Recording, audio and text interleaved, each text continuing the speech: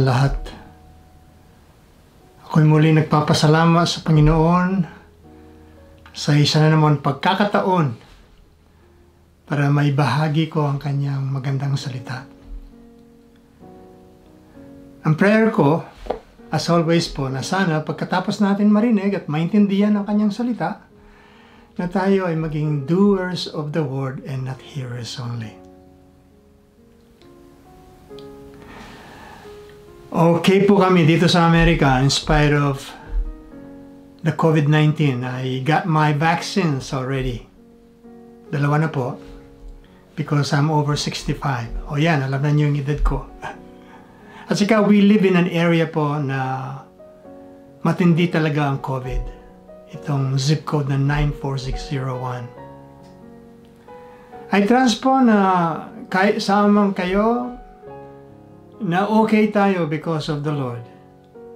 Amen po ba? Amen. Kung meron pong tinamaan sa mga kamag-anak nyo, my prayer po is that the Lord may be gracious and merciful po sa kanila.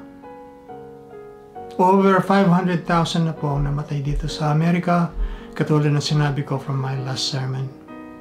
At alam ko po, lahat ng pinahihintulutan ng Panginoon Jesus ay galing sa kanyang kabanalan. And because of it, we can walk by faith and not by sight. With that po, I want to start itong sermon na ito by talking po about plano. Plano. Hindi po ba lahat dapat may plano? Kung sasakay po tayo ng eroplano, hindi po sinasabi ng kapitan ito sa atin, pero alam niya at saka may mga ilan pa nakakaalam na mayroong flight plan. Meron pong flight plan yung, yung flight na sinasakyan natin.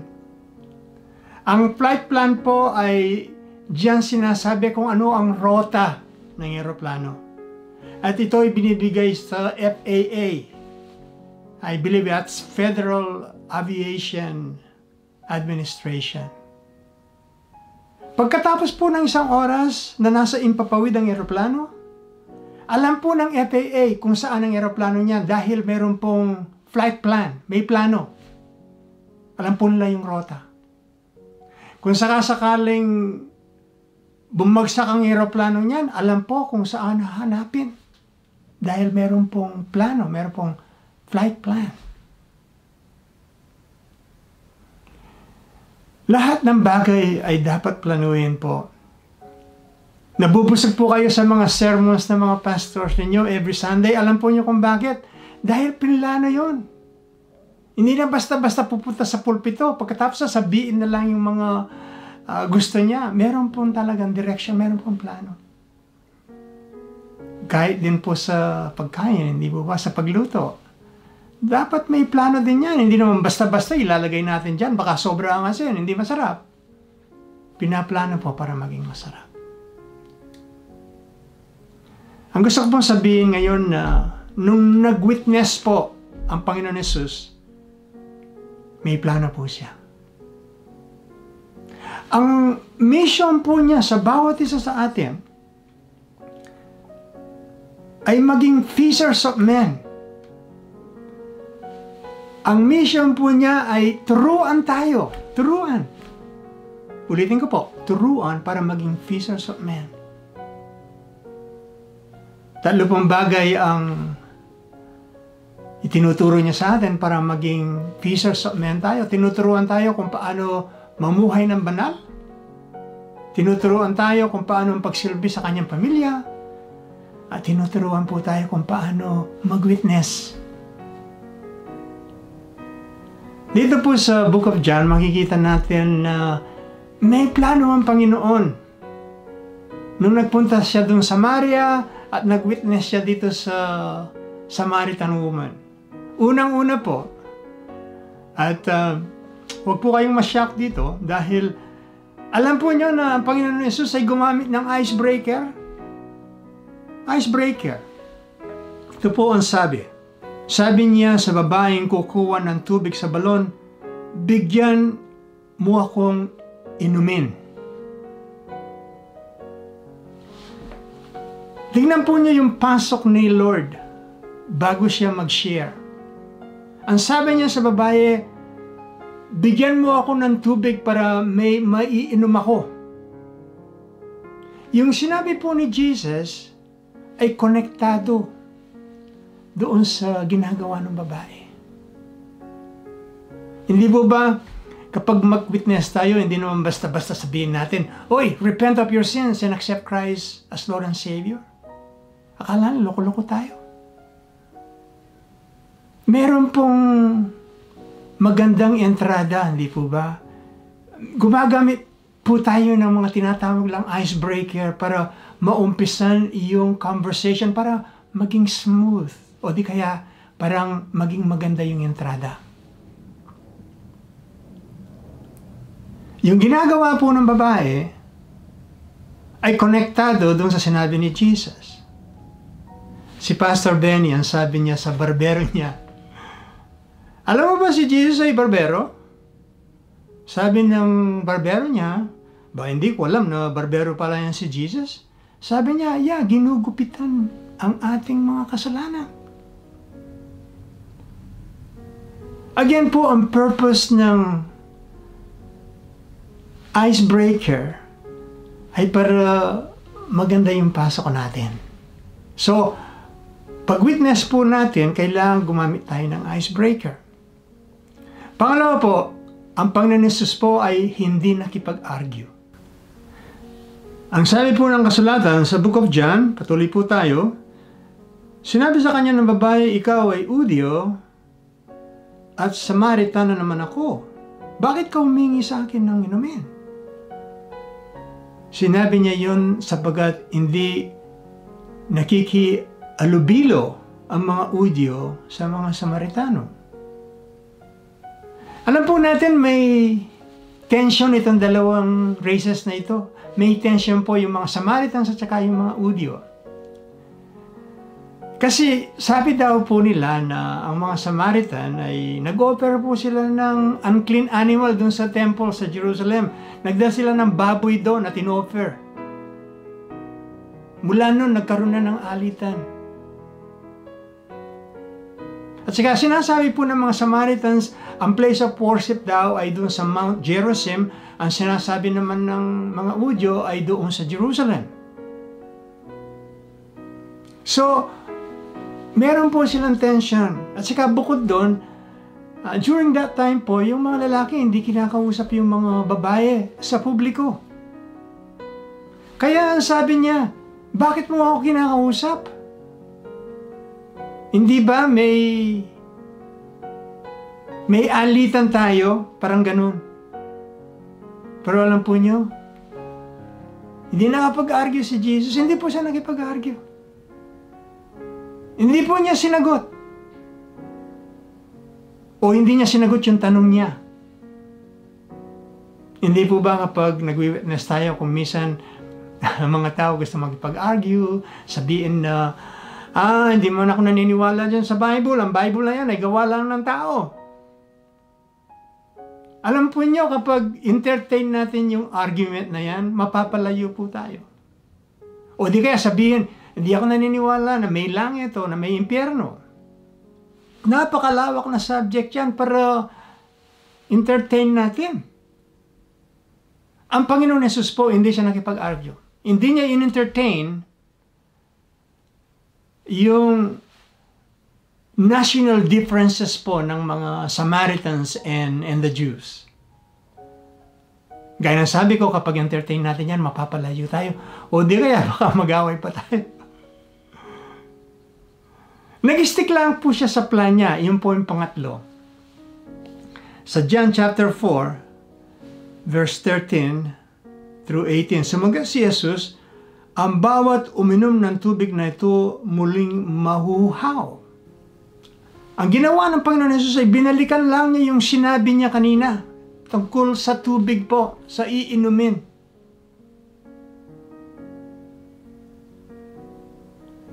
Stick lang po siya sa plan niya. So, pangapat po, kinonfront po ni Jesus yung kasalanan ng tao. Kinonfront po ni Jesus yung kasalanan ng babae. Ah, ang sabi sa kanya, umuwi ka at isama mo rito ang iyong asawa, wika ni Jesus, wala akong asawa, sagot ng babae. Sinabi ni Jesus, tama ang sinabi mo, wala kang asawa. Alam po ni Jesus na yung kinasasama niya na kabit lang niya. Kinompron po yung kasalanan sa witnessing. Hindi po natin alam kung anong nangyari doon sa limang asawa ng babaeng ito. Siguro ay ah, iniwanan siya o siya ang nagiwan sa kanila. Hindi po natin alam. Pero alam po natin,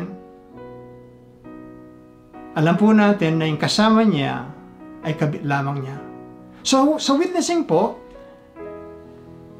kinonfront po ni Jesus ang kasalanan niya. Sinasabi po niya itong tubig na hindi na siya mauuhaw pang muli. Pero sinabi rin ng Panginoon Jesus ang kasalanan sa buhay niya. So ang Panginoon po meron siyang plano. Ito pong isi-share ko ngayon sa inyo kung paano yung pag-witness ay plano ng Southern Baptist Convention. Tinatawag po ito ay CWT, Continuing Witness Training. Ito po ay nakuha ko may, many years ago and I like it dahil hindi masyadong confrontational katulad ng Way of the Master. Siguro sa inyo, yung nakaraan na video, ah, siguro mm, medyo ah, uncomfortable kayo doon dahil very confrontational po yung approach. So ito po ay galing sa Southern Baptist Convention at uh, sa inyong mga kaibigan, sa inyong mga kamag-anak o yung mga, mga kilala nyo sa, sa daan o sa ibang lugar pa para i-share nyo ang, ang magandang balita, ang gospel ng Panginoon Yesus. Ang una ganito po. Ah, of course, ah, tandaan po natin na ang Panginoon Yesus ang nagpunta dun sa Samaritan woman, hindi yung Samaritan woman ang nagpunta kay Jesus. So, ang lesson po doon ay tayo ang dapat magpunta. Kasi yung mga tao dyan, hindi po tayo pupuntahan. Tayo ang dapat magpunta. At gaya ng sabi ko last time, gumamit tayo ng icebreaker. Ang ginagamit ko po ay tinatawag nilang Christian track. Ah, kapag bigay ko sa kanya, kapag, kapag kinuha, ah, ito po ang umpisa niyan. Kapag binigyan po natin ng track, Christian track, kapag kinuha, ito po ang sinasabi ko. Again, galing from the Southern Baptist Convention po ito, CWT. Narinig mo na ba yung tatlong blessings na gusto ng Lord na mapasa iyo? Ah, may iba-ibang sagot yan. Ang, ah, ang iba sabi niya, ah, refresh my mind para bang alam nila. Ah, ang mga iba naman sasabihin, o sige sabihin mo sa akin. So, ang unang blessing po na gusto ni Lord sa iyo ay magkaroon ka ng buhay na walang hanggan. Ang sabi po sa John 3.16, sapagkat ngayon na lamang ang pag-ibig ng Diyos sa sangkatauhan, kaya't ibinigay niya ang kanyang kaysa-isang anak upang ang sino man sumampalataya sa kanya ay hindi mapahamak kundi magkaroon ng buhay na walang hanggan. Ang buhay po ang buhay po na walang anggaan ay buhay na walang katapusan. Lahat po may eternal life. Pero ang tanong, saan ba yung eternal life nila? Sa impyerno o sa langit? Ah, Sinong kasama? Si Jesus ba? O si Satanas? So, ulit po, ang gusto ng Panginoon ay magkaroon kayo ng buhay na walang anggan at yun ay buhay na walang katapusan na kasama ang Panginoon. Pangalawa po, pangalawa po, gusto niya magkaroon ka ng buhay na masagana. Ang sabi po sa John 10.10, dumarating ang magnanakaw para lamang magnakaw, pumatay at manira, na parito ako upang ang mga tupa ay magkaroon ng buhay, buhay na masaganang lubos. Ang pangalawang blessing po na gustong ibigay sa iyo ng Panginoon Yesus ay yung buhay na masagana. Ang buhay na masagana po ay buhay na tahimik kahit may problema. Amen po ba?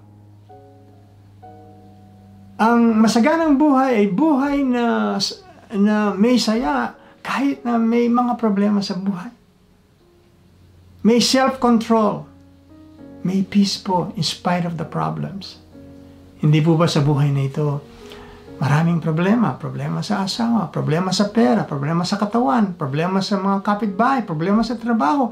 Ang gusto po ni Lord na magkaroon tayo ng masaganang buhay, yung abundant life, in spite po ng mga problema sa buhay.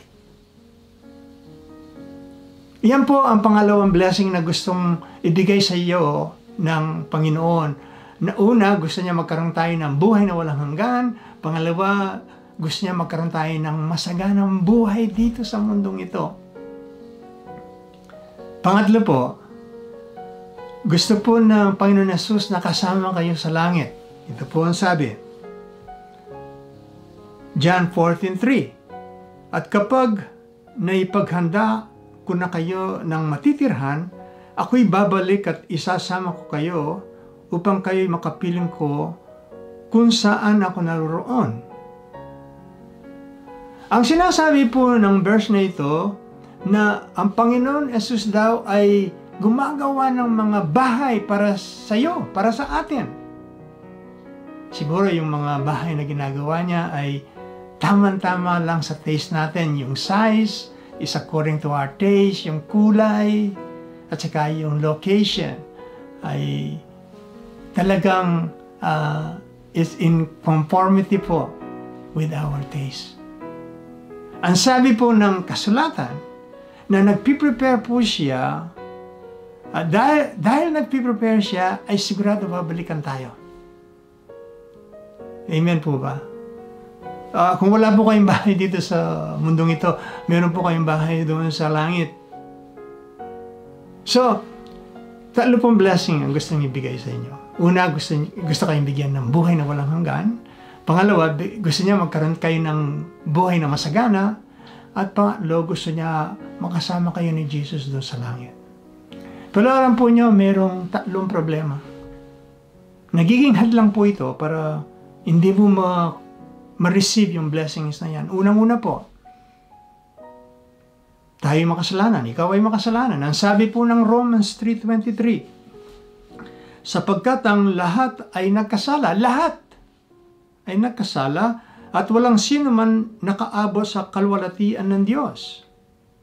Ang sabi po ng mga manunulat, we are sinners by choice and by nature.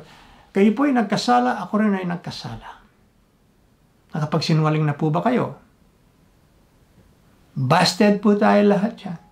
Alam po niyo, binilang ko ang aking mga ginawang kasinungalingan uh, until when I was 36 years old. Kung nagsisinungaling po ako ng 3 times a day, alam po niyo kung ilan yon? Over 39,000. Hindi pa kasama yung pagnanakaw doon. Baka may marinig. Baka may makarinig. Yung pambababae, yung covetousness, lahat-lahat na. Murder, I influenced my ex-girlfriend to have an abortion. Murder po yan. Pangalawa po, hindi po natin pwedeng isave ang ating mga sarili sa mga kasalanan. Ito po ang sabi. Ephesians chapter 2 verse 9. Sapagkat dahil sa kakandaan loob ng Diyos, kayo ay naligtas sa pamamagitan ng pananampalataya at ito'y kaloob ng Diyos at hindi mula sa inyong sarili. It, hindi ito bunga ng iyong mga gawa. Ang sinasabi po ng verse na ito na yung mga magagandang gawa natin katulad ng ah, pagpunta sa church, hindi po pwedeng gamitin kabayaran yan sa kasalanan natin. Hindi po pwedeng gamitin yung maging mahusay tayong asawa or ba o anak kaya o isang empleyado para mabayaran natin ang ating mga kasalanan. Ang sabi po ng kasulatan, ang kaligtasan daw po ay wala sa mabuting gawa, ba sa grasya ng Panginoon. Naisip ko tuloy yung isang mafia. Ang dami niyang pinatay. Boss siya ng mga mafia. Ang dami niyang pinatay. So, nagtago siya dahil nahanap siya ng, ng mga FBI. Nung nagtatago po siya, naging mabuti siyang tao. He decided na hindi na niya, ipagpa, hindi niya ipagpapatuloy yung kalokohan niya. So, nagbigay po siya ng pera sa mga kawawa, nag-start po siya ng mga foundations para sa mga nangangailangan. Pero isang araw po, habang kumakain siya sa restaurant, dumating yung mga FBI. Pagkatapos, ikinulong siya. Inarap siya sa judge. Ngayon, ang sabi, ang sabi niya sa judge, Judge, pwede ba? Wag mo akong ikulong kasi over the last many years, naging mabuti na akong tao. Nagbigay ako ng pera sa mga kawawa, nag-start po ako ng pondasyon sa mga nangangailangan. Pwede ba uh, i-release mo na lang ako? Ano sa palagay niyong gagawin ng judge? Kung kayo ang judge, ano po ang gagawin niyo? Obvious po yung answer. Ano po? Hindi pwede. Hindi po natin pwedeng sagipin ang ating mga sarili sa kasalanan. Pangatlo po, we deserve po yung punishment. Karapat dapat tayong parusahin sa kasalanan na ginawa natin. Ito po, Romans 6.23, sapagkat kamatayan ang kabayaran ng kasalanan. Ang sabi po ng verse na ito, paparusain talaga ng Panginoon yung nagkasala. Hindi pwede yung pabayaan na lang natin. Hindi ba yung minsan tayo, mga, mga tao, ang attitude natin, o pabayaan mo na lang. Hindi po pwede yung sa Panginoon. Lahat ng kasalanan kailangan bayaran po. No one gets away scot-free. Lahat ng kasinungalingan, pagnanakaw, ay kailangan bayaran po yan. Ang Panginoon po ay holy siya. At lahat niyan kailangan bayaran because He is the Holy God. He cannot say, pabayaan na lang natin. Pero dahil sa pagmamahal po ng Panginoon, sa bawat isa sa atin, sa iyo, sa akin, meron pong ginawa ang Panginoon Yesus. Tatlo po ang ginawa niya para mapasa atin yung eternal life, abundant life, um, and a life with Jesus in heaven po. Ito po ang unang ginawa niya. Sa John chapter 1, verse 1 and 14. Nang pasimula ay naroon na ang salita, ang salita ay kasama ng Diyos at ang salita ay Diyos, naging tao ang salita at naniraan sa piling namin. Ang una pong ginawa ng Panginoon Yesus ay siya ay Diyos at naging tao siya. Naging tao ang Diyos sa pamamagitan ng Holy Spirit at saka si Mary. Ito po ay gawa-gawa ng Holy Spirit. At binigyan siya ng pangalan na Jesus. At ang, ang Panginoon na ito na naging tao ay kinasama sina Peter. He lived among them. So, yun po ang unang ginawa ng Panginoon Yesus para mapasa atin yung eternal life, yung abundant life, and a life in heaven with Jesus. Pangalawa po, pangalawa po, namatay po sa krus ang Panginoon Yesus sa kasalanan natin. Ito po ang sabi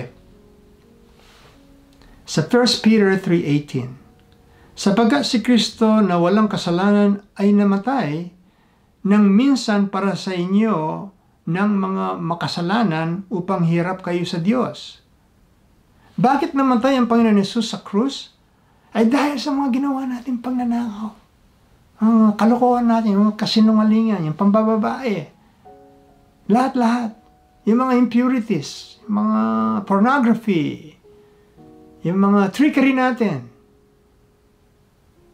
Ang sabi nga ng kasulatan, He is the Lamb of God who takes away the sins of the world.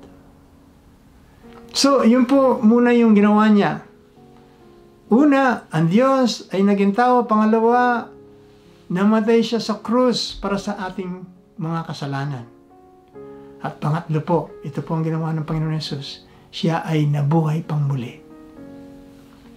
Sabi po sa Romans 4.25, siya ay pinatay dahil sa ating mga kasalanan at muling binuhay upang tayo'y mapawalang sala.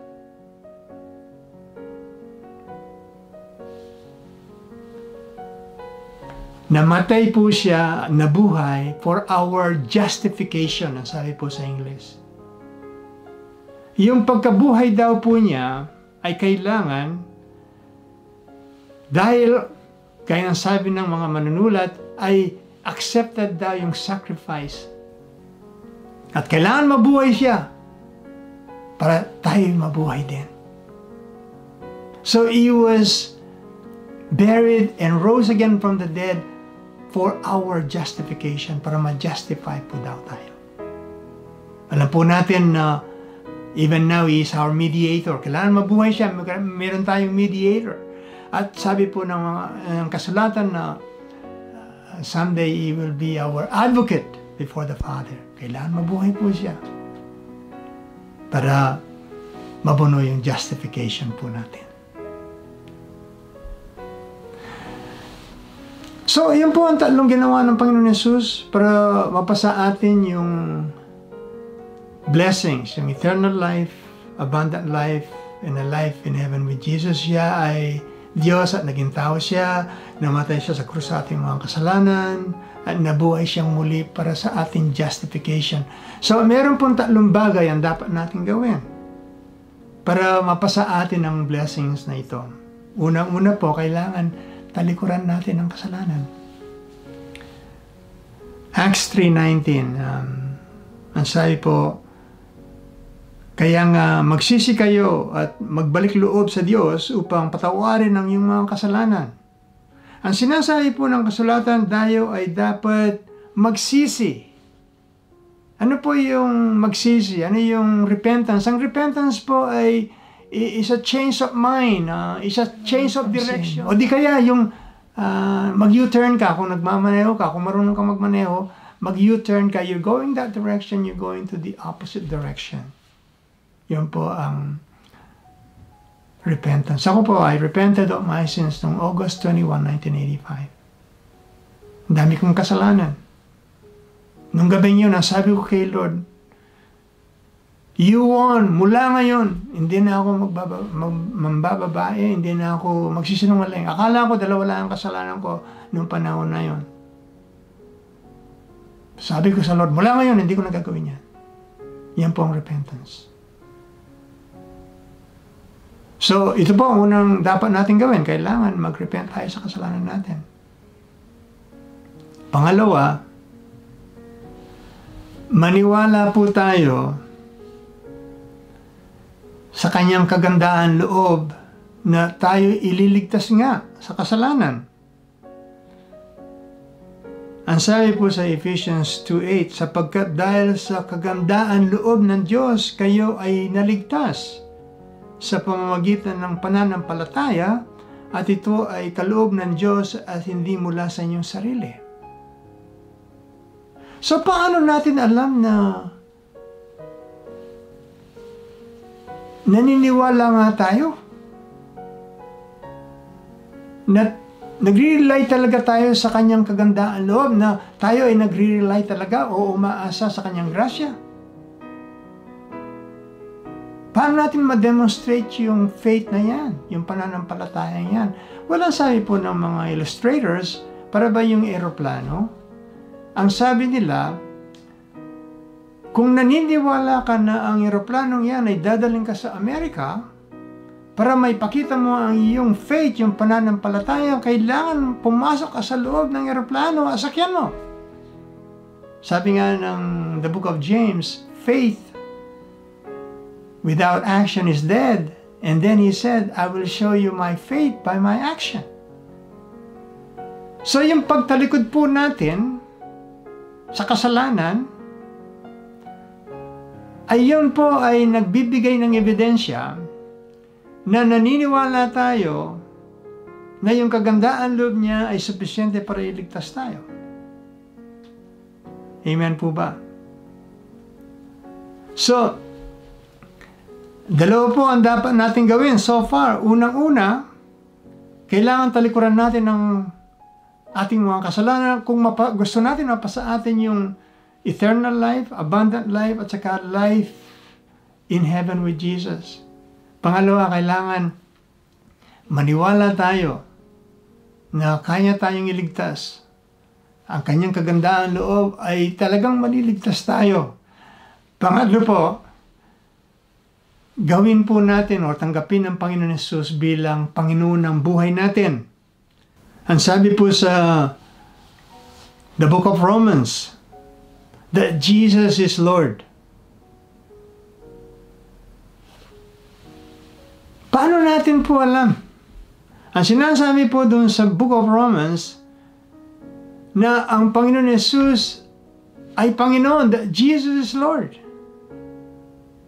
Paano natin alam na Lord nga si Jesus ng buhay natin? Paano natin alam yan?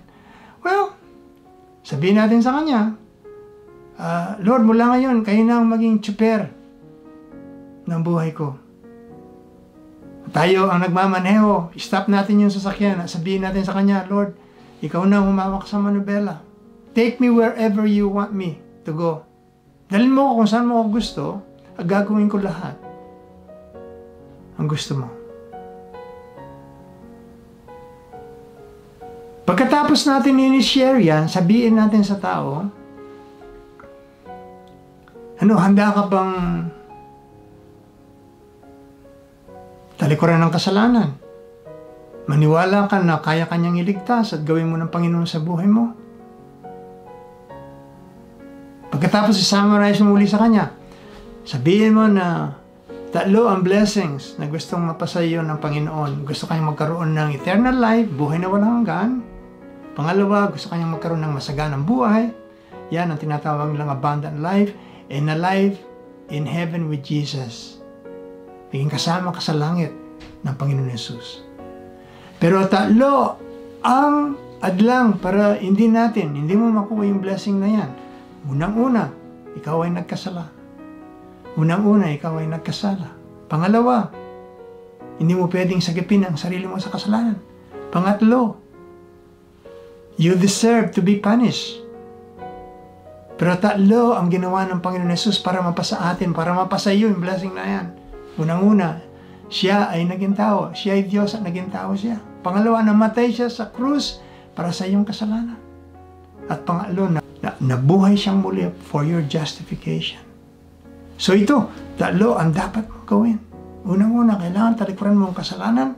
Maniwala ka na kaya kanyang iligtas sa kanyang kagandahan loob. At pangatlo, gawin mo siya ng Panginoon ng buhay mo. So sabihin natin, Handa ka na bang tumalikod sa kasalanan? At maniwala na kaya kanyang iligtas at gawin mo ng Panginoon sa buhay mo ang Panginoon Yesus. Kapag sinabi niya, oo, ilid mo siya sa sinner's prayer. Sabihin mo, Panginoon Yesus, ako po yung nagkasala sa inyo. Mula ngayon, tinatalikuran ko ang aking mga pagkakasala at tinatanggap kita bilang Lord ng buhay ko at tagapagligtas ng aking kasalanan. Naniniwala po ako na kaya niyo akong iligtas. Sa ngalan ng Ama, Anak at Espiritu Santo. Amen. Gaya ng sabi ko po, kailangan may plano ang ating approach. Ah, kasi po yung mind natin, ang mind ng mga tao demands symmetry. Hindi po ba kung minsan ah, magbasa tayo ng libro, hindi natin maintindihan yung libro. Kung minsan sabi natin, ah, siguro ako may problema. Alam po niyo, ang katotohanan, yung manunulat, hindi masyadong marunong. Hindi siya organized. O di kaya kung minsan manood tayo ng sine, hindi po bawal manood ng sine, hindi po ba? Hindi ko maintindihan ang sine. Kasi po hindi organized, hindi planado ang maigi. So kailangan po natin ng plano. Ah, kapag mag-witness tayo, ang Panginoon Jesus, nung nag-witness siya, gumamit siya ng icebreaker. Hindi po siya nagipag-argue. Nag-stick po siya sa plan niya at kinonfront yung kasalanan. So ito pong CWT ay ah, may pagka pareho nung ginawa ng Panginoon. Maraming salamat po sa isa na naman pagkakataon na may bahagi ko ang kanyang salita. Ito po ay nasa skill area po tayo. Ano po, ah, kaya nasabi ko noon na, na ang layunin ng Panginoon, ang mission niya kaya ay turuan tayo para maging pieces of men. Tuturuan tayo na maging banal at para maging banal po tayo, kailangan natin ng knowledge, kailangan natin ng skills, kailangan natin ng commitment. Tuturuan po tayo para magsilbi sa kanyang pamilya at ganun din po, kailangan natin yung skills, kailangan natin yung knowledge, kailangan natin yung commitment. At sa pag-witness po, ito po ang isang kulang sa iglesia. Kailangan natin ng knowledge, kailangan natin ng skills, kailangan natin ng commitment. Ito po ang sermon na ito is about uh, providing you the skills po kung paano pag-witness. Pagpalain po kayo.